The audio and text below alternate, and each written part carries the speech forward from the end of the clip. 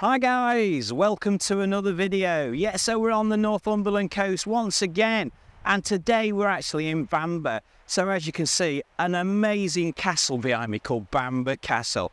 And this beach, take a look at this beach. It is absolutely stunning. The sea is just like being abroad. It's blue. The sea is actually blue and clear. So look at the people on the beach as well. It's just like being abroad. It's absolutely amazing here. I actually can't believe this place. So I've never ever been here before in my life, and I just can't believe it. But we do have a, a few situations. I'm going to have to say it. Um, so this has actually been voted the best seaside resort on the Which magazine. Well, it, obviously it is the best place you can actually come. So you can't compare this to a traditional seaside resort where you get sticks of rock, candy floss, fish and chips, loads of amusement rides, loads of donkey rides, and everything else is there. Well, are really busy. This is a small seaside resort which has just come for the history and the relaxation of a beautiful place. Yeah, so don't forget, if you like what you see before we go, if you haven't done already, please hit that subscribe button. Hit that notification bell for all my new videos coming up. So on the Northumberland coast we are, and there's going to be loads of videos all about Northumberland, all the way up to St Abbs in Scotland as well. Yeah, so give us a thumbs up if you like the video. So let's go for that little adventure.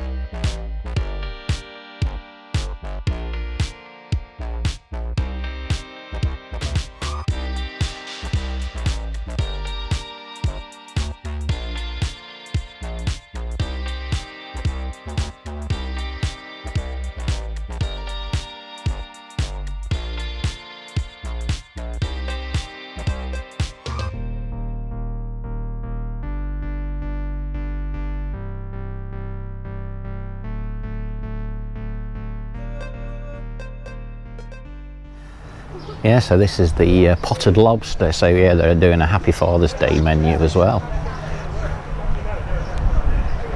So uh, I suppose that'll be busy a little bit later on. But yeah, the sun's out. What a beautiful day it is uh, to visit Bamburgh.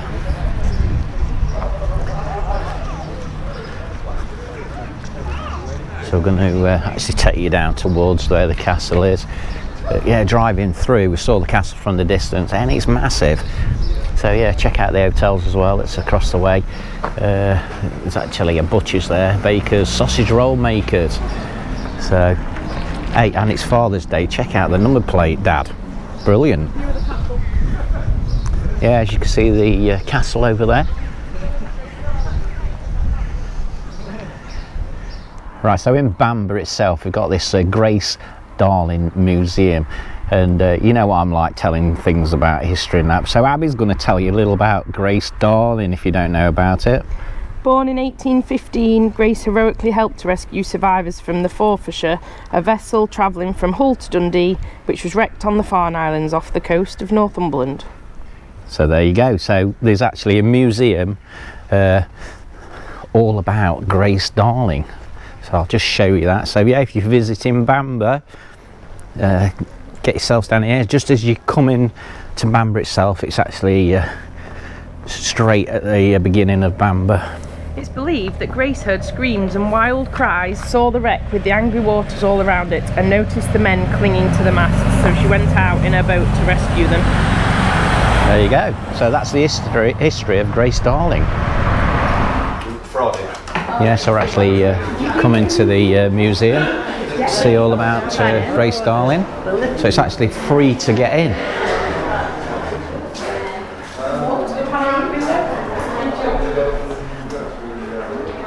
Yeah. So you can actually go upstairs. Uh, so it looks like somebody's actually done a painting of uh, Grace Darling, yeah, with our William and Grace Darling in the heavy seas rowing to the wreck. Beautiful.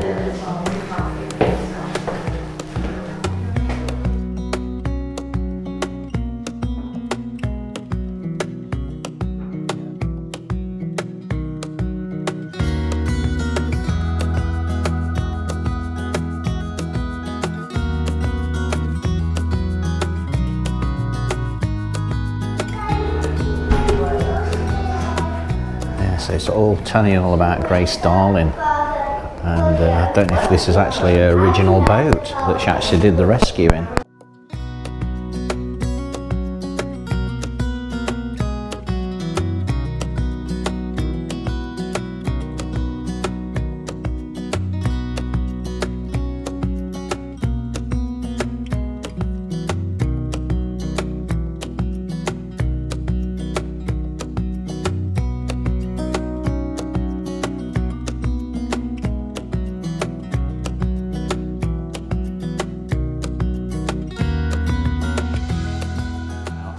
This place is. Uh, all about Grace Darling. So she actually died in 1842, uh, age 27.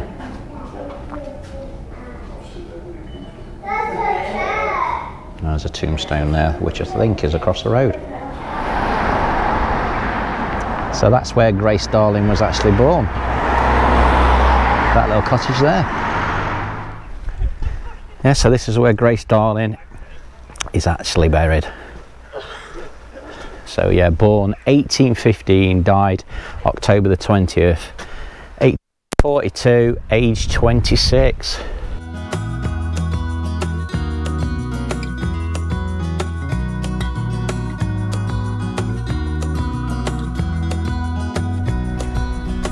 So I'll just show you a little bit about uh, Grace Darling, what she actually did. So if you want to pause it, you can actually read uh, all about Grace Darling.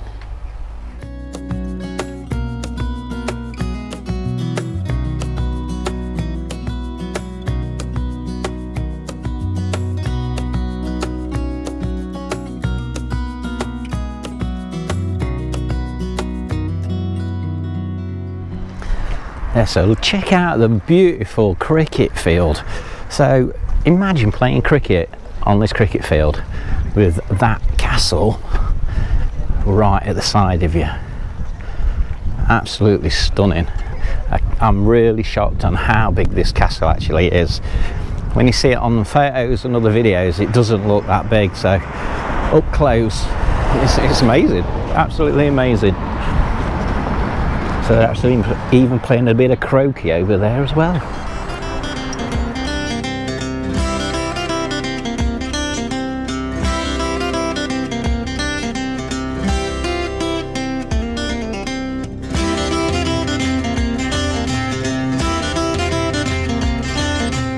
Right, so this is the way down to the beach.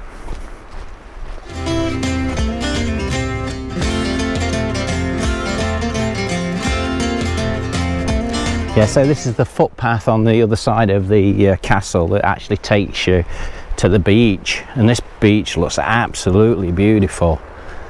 So you there's stunning views that surround here.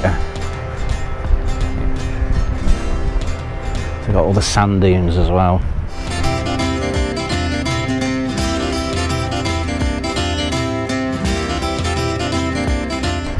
Wow. Check out this beach. And look at the colour of that sea. Absolutely stunning. And the sailing boat right out there. I don't know if you can just see it.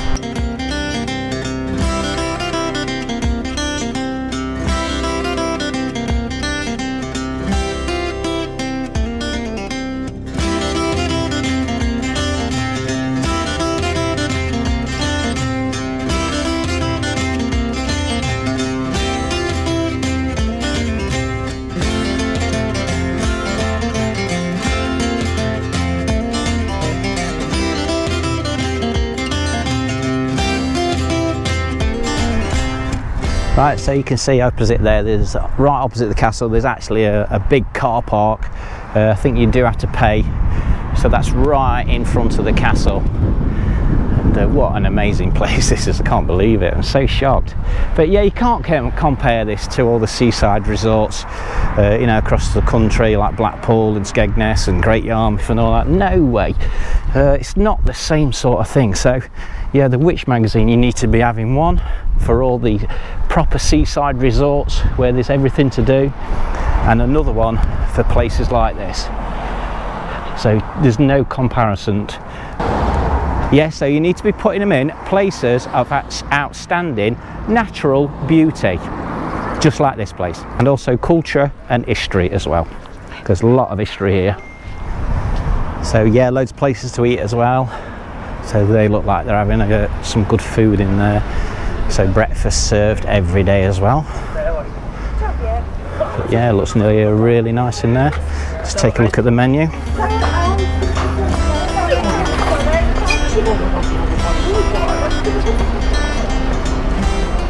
so this is the Sunday and there's actually a lot of people uh, about today seeing as it's, it's a beautiful day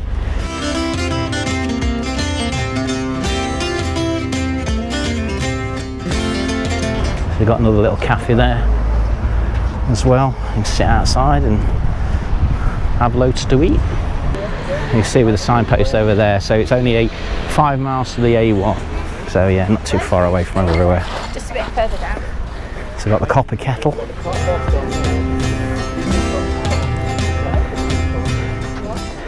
Famous seafood platter seen on TV. Crikey. So if you've seen that on TV, let me know in the comments below. So yeah, I think we've picked the, the right day today, or the right weekend to come down to uh, Northumberland and down to uh, Scotland because this weather is absolutely stunning. And that beach down there, the sand is absolutely beautiful. And this is somewhere else, look, you can have something to eat. It's called Doctor's Lane. And they've even got an old-fashioned uh, telephone box. Can remember those when you we was younger?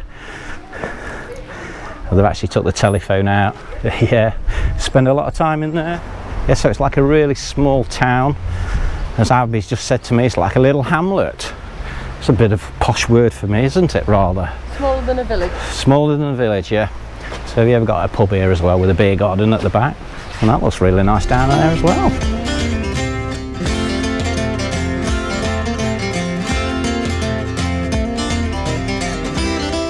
So yeah, this is the Castle Inn.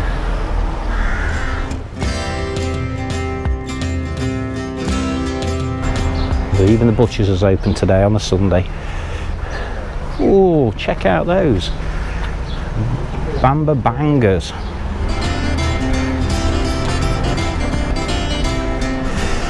And then we've got the uh, Victoria Hotel, Bamburgh. So yeah, that looks really nice in there. So everybody's sat outside having some food. Oh, and the food looks good as well. They're even doing Sunday dinners as well here. So I bet there's a lot of fathers here on Father's Day. And say we've got the lobster, the potted lobster as well. So all your seafood's in there. And it's a Michelin style restaurant up to 2021. I'll just show you the uh, the food that's here to offer. Yes, we can have lobster with the fries mixed side, £36. Yeah, check that out. Right, so there you go everybody. I hope you've enjoyed that beautiful walk around Bamburgh. What an amazing place it is. So the castle, amazing. The beach, amazing. The sea is blue and you can sort of see it out here, how blue and clear it is. It'd be brilliant out there for snorkeling. I know we've done some snorkeling in St Abbs, but I think we ought to come here one day and actually do a bit of snorkeling here. As you can see the lighthouse over the way, and also you can see Seahouses just a bit further around the coast. So we're going to actually visit there. So to check out that video in Seahouses, uh, that's where we'll be doing one uh, next as well. So we're working our way down the coast. Also all the other stuff the way I've done in Northumberland as well and I've done a little bit in Scotland. So we started at St Abbs and worked our way down. Also did a food review and a hotel review as well. So check that out as well, somewhere to stay. So yeah, before we go, if you haven't already and you are, you are enjoying everything that I'm actually doing, please hit that subscribe button and also hit that notification bell so you will see all my new videos that's coming along. And don't forget, don't, don't forget to give me that thumbs up as well if you like the videos because there'll be more and more videos like this coming along i want to keep doing all this stuff. I hope everybody's enjoying it and if anybody's got any ideas or anybody wants me to visit anywhere please let me know in the comments below or send me an email. So thanks for tuning in and we'll see you all soon. See you soon